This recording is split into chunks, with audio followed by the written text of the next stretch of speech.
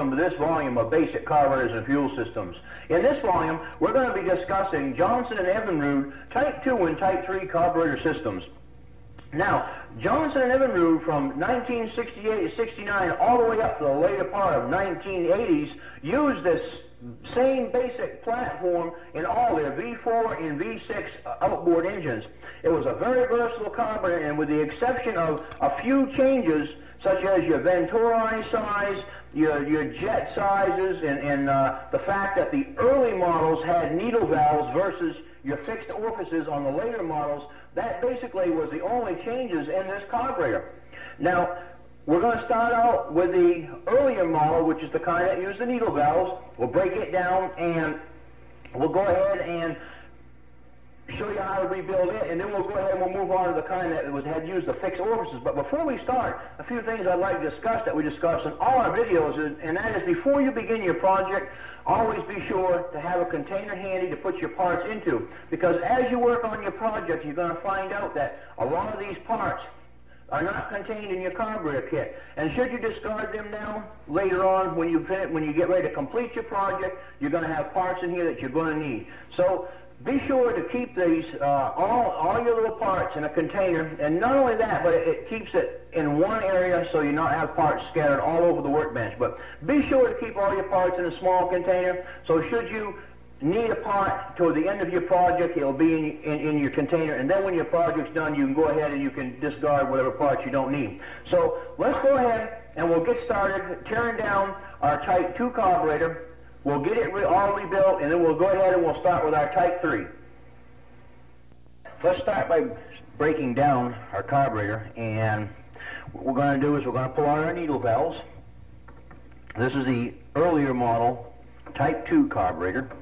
You'll find this a very common carburetor all through 1960, beginning in 1968, 69, uh, early part of the 1970s. It was a very widely used carburetor. We need to remember, like always, be very careful when working because you're working with brass and aluminum, and brass and aluminum parts do tend to strip very easily. These needle valves are quite long, so just a little bit of patience in getting them out. It's always a good thing to remember that you need to completely strip your carburetor down, especially if it's been sitting for a while and it's very dirty, because what's going to happen is uh, there's going to be passages in there that are they're going to have dirt and, and, and varnish from the gas in them, and you're not going to get it thoroughly clean. So as we move the remove the needle valves, we're going to find this little little uh, seat on here that's going to have to be replaced. And uh, I'll show you that in just a minute. Okay.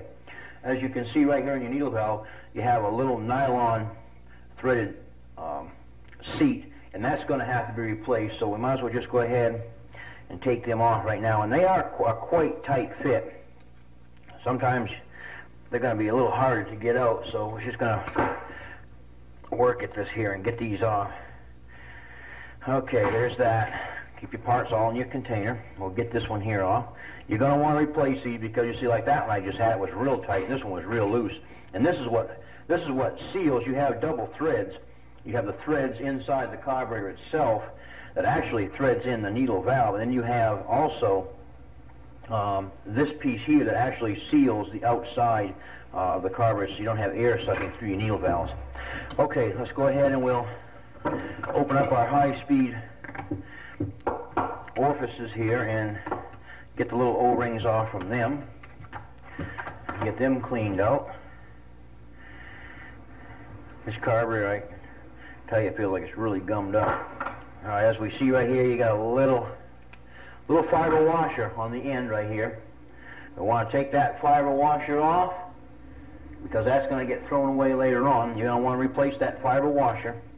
And it, we can see, inspecting this, we can see gum on the end of this little screw right here. Here. And we can tell this carburetor is probably pretty well gummed up inside. All right, we'll pull that fiber washer off, like so.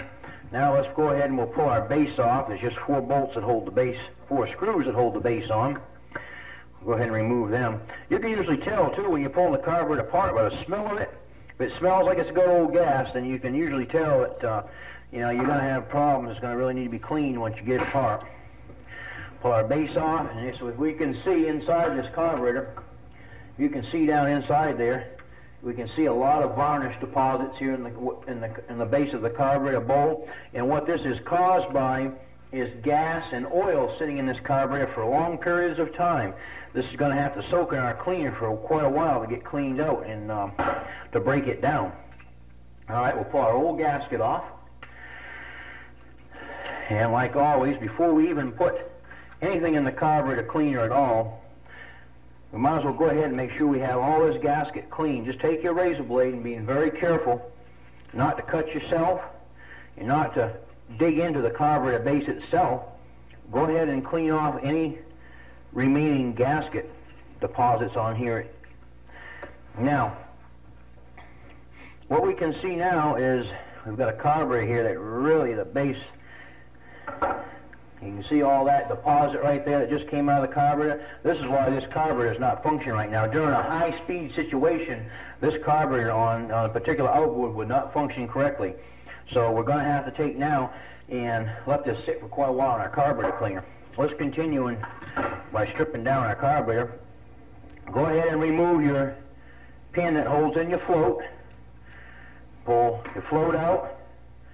And we'll get the needle valve out of here. And the next thing we want to do is move our remove our needle valve seat. Okay, it takes that out. That's going to be replaced on your needle valve seat. As you can see, there's a little nylon washer that goes on it. That's going to want to be replaced. If you don't remember where some of this stuff is going to go, one thing that's a handy thing to remember is just leave some of these washers and stuff on these bolts and these nuts and the needle valve seats. That way, when it goes back together, you'll know where some of these things go. And uh, another thing that's good to do is always try to write down some of this information because it's uh, some of these things are, are quite lengthy. Uh, they have a lot of parts, and it's hard to remember a lot of times where some of this stuff goes. So it's always a good thing to write yourself down a diagram if you can't remember where a lot of these parts go. Okay, now what we're going to do is we can take a look over the carburetor and we can see that it is fairly clean.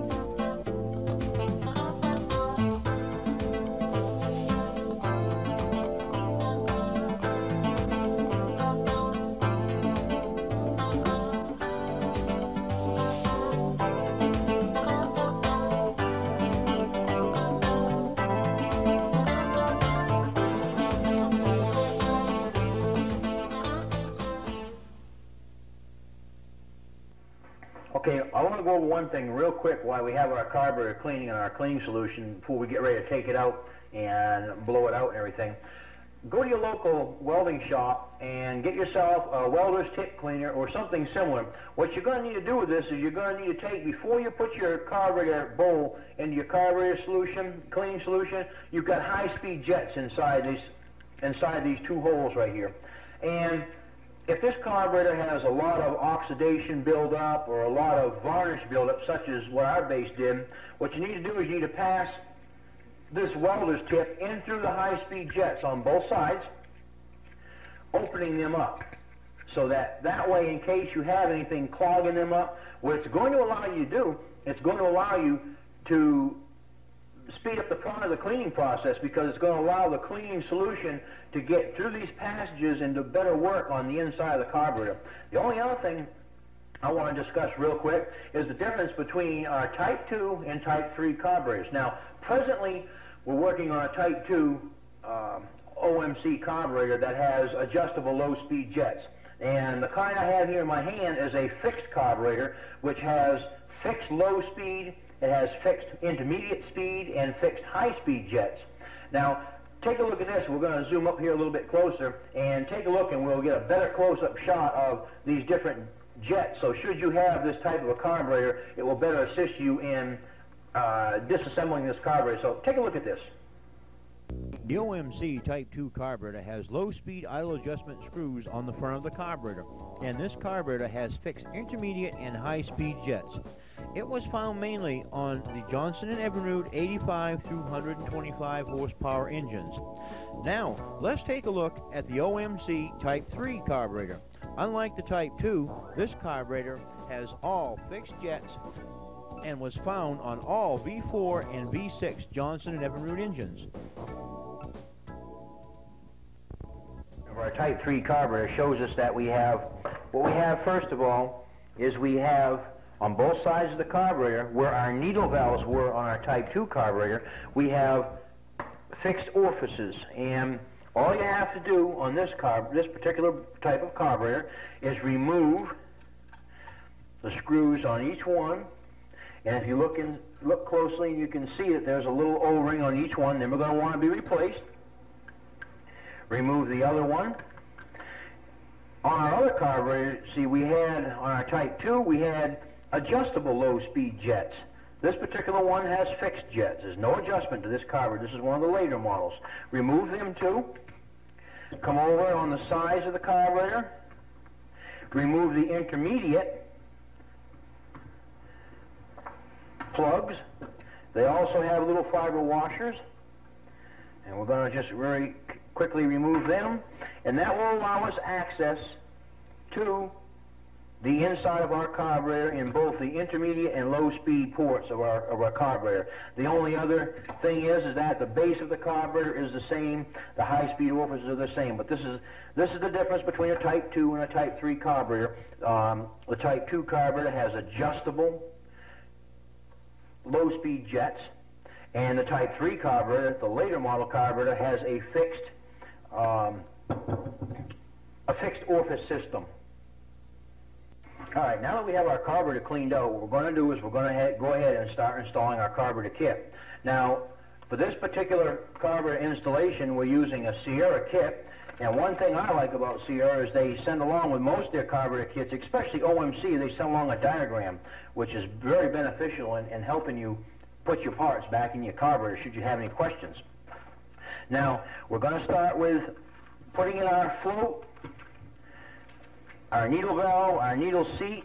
So we'll open up this little package which contains all our small parts. You need to be careful, there's a little spring in here we don't want to lose. All right, now we'll put our fiber washer onto our needle valve seat and install it first.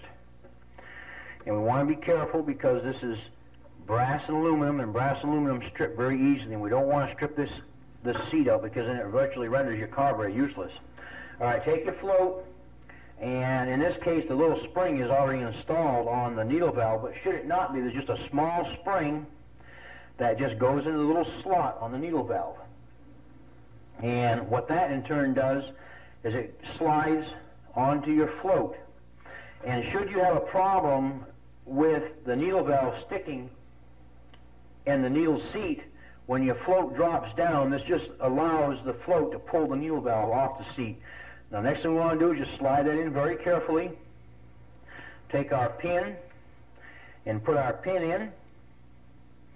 As you can see, this is quite a quite simple carburetor to, overhaul.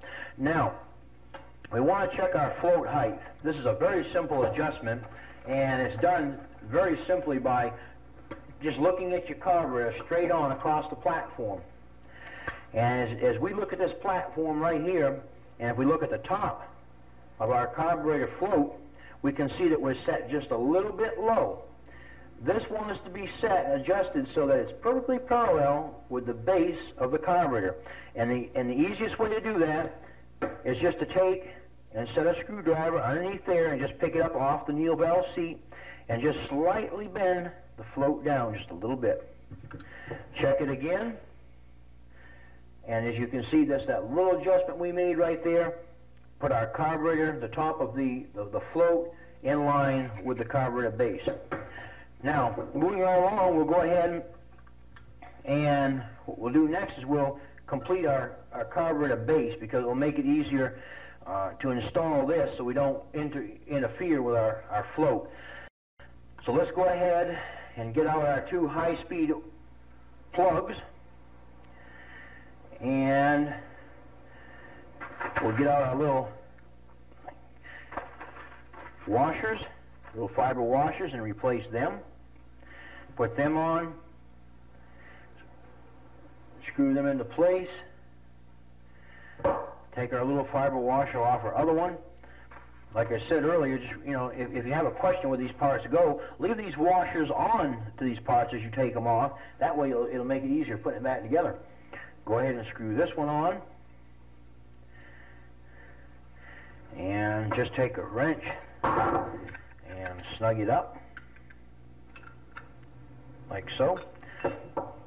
All right, now what we're going to do now is get our gasket out, and we're going to go ahead and place our new gasket on top, making sure especially that all of our holes line up. That gasket could go on the other way and it could be wrong, so we want to make sure that everything lines up the way it's supposed to before we put our top on. All right, go ahead and install the, the carburetor base and get your four screws out. Install them. And we're going to just snug them down, and then we tighten them. We're just going to tighten them crossways like you would be torquing down a head or something. And it, it's not necessary, but this is aluminum, and it would just keep it from maybe pinching or, or cracking uh, the ends of the bosses of the carburetor because they're not very, there's not much there to, not much metal there. So we're just going to parallel across the carburetor like so. Just snug them up. Just enough to keep that just enough to seat that against there and to seal that, that gasket. gasket. All right, now the next thing we're going to do is we're going to install our needle valves. We'll take out our new seats, and they are beveled. The beveled end goes inside the port. We're going to go ahead first and insert them in each one of the ports. and start by screwing our needle valves down in. You'll probably have to have a screwdriver for this because these things haven't been threaded before and they're going to go in pretty hard. Now run your needle valve all the way to the bottom just till it seats on your jet on the inside of the carburetor. You do not want to over tighten once that the uh, needle valve seats because you will bend the needle valve. Just bring it in to the seating position and it's going to be almost all the way down these carburetors. The threads are going to be almost all the way. You'll probably have about a quarter of an inch of thread sticking out when you're done. And just keep going down. It doesn't seem like you're ever going to get there, but you will. And then when it seats, stop. Don't over tighten. Do the same with the next one.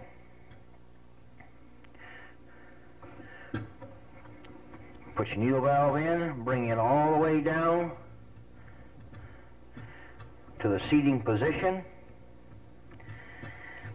And on this particular carburetor, like with almost all of our carburetors, after the seating position, you want to back the needle valve off one and a quarter to one and a half turns. And that is basically, uh, as a general rule, where you want to start with your needle valve. All right, both of our needle valves are seated. We're going to take now and back off one and a half turns. There's one, and there's a half. The same thing with this side. Make sure it's seated in the right place. There's one and a half. Now, one and a half may be a little rich, but this is gonna this is gonna basically get you to a point where you're gonna get be able to get the engine started, and you may want to lean it out just a little bit. All right. The next thing, the final thing we're gonna do is turn the carburetor over on its side. We're going to take our two intermediate valves. And we'll put our little fiber washers on them on each side and snug them down. Making sure that as you're starting them that you get the thread. It's always good to finger to start everything with your fingers because if you it's only going to take a second once you strip them out to ruin the whole thing. Once you stripped out them threads, you, you got some serious problems, so you want to take your time. All right, snug up each one. And that's it. About all you're going to need now, all your kit is your carburetor base, your, your carburetor to your intake gasket, and that's it. Now we're going to go ahead now and get this carburetor. It is, this carburetor is basically ready to go ahead and be installed on the outboard engine. Okay, as you can see, the Type 2 and Type 3 OMC carburetors are really a simple carburetor to, to rebuild compared to the, the many others. Um, one thing uh, I want, one point I want to bring out is when you're cleaning your carburetor, after you pull it out of your cleaning solution, take you some air. If you don't have a compressor, go to a garage or someplace that will let you use some air, and take an air nozzle and blow all these passages inside these carburetors out so you get any varnish or any dirt that might remain inside there out of the carburetor. Uh, cleaning fluids, you can use anything from a lacquer thinner, which is what I prefer because it, it does a real good job at cleaning off, uh, uh, cleaning out a carburetor and, and eating the varnish. Uh, there's many um, carburetor cleaners you can buy at your auto parts store that's uh, a lacquer-based type carburetor or an enzyme type carburetor cleaner, and they work equally as well. So just to recap a few things when you're when you're rebuilding carburetors be sure to have a real clean surface to work on so that way your parts you can keep them uh, all nice and, and, and neat and orderly so you don't lose any parts. Keep your parts in a container. It's very important to keep your parts in a container because some of these parts as you've seen are not in our carburetor kits and you're going to have to reuse them and um, if you lose them parts then what's going to happen is you're not going to be able to get your carburetor back together, and you're probably going to have to replace the whole carburetor. Another thing I'd like to point out is being very careful when you're when you're working with aluminum and brass. Aluminum and brass strip very easily. If a part won't come out, don't force it. Uh, if it's a brass fitting with a screwdriver slot, that screwdriver slot will, will break or strip very easily. So always be careful when you're working with brass and aluminum to make sure that you don't over tighten. Uh, another thing is is your carburetor adjustments. When you're adjusting your carburetor, bring your needle valve, if it should have a needle valve, bring your needle valve all the way up to closed position. Don't over tighten it, just a snug position. Most carburetors will run, most engines will run by backing your needle valves out one and a quarter to one and a half turns from the seated position. Usually one and a half turns is a little bit too rich, but anywhere between one and a half to one and a quarter is basically where your engine is going to perform well if that carburetor is, is, is running well. Uh, problems caused by carburetors. What we have here is we have a piston. Take a look at this piston, and as you can see, this piston that was related with this particular cylinder and carburetor was had been leaned out. The carburetor had leaned out, causing this piston to run dry. The air and the fuel and the and the gas mixture, gas to oil mixture was not correct on this uh, particular carburetor. And what happened was that this piston had been running dry in the cylinder.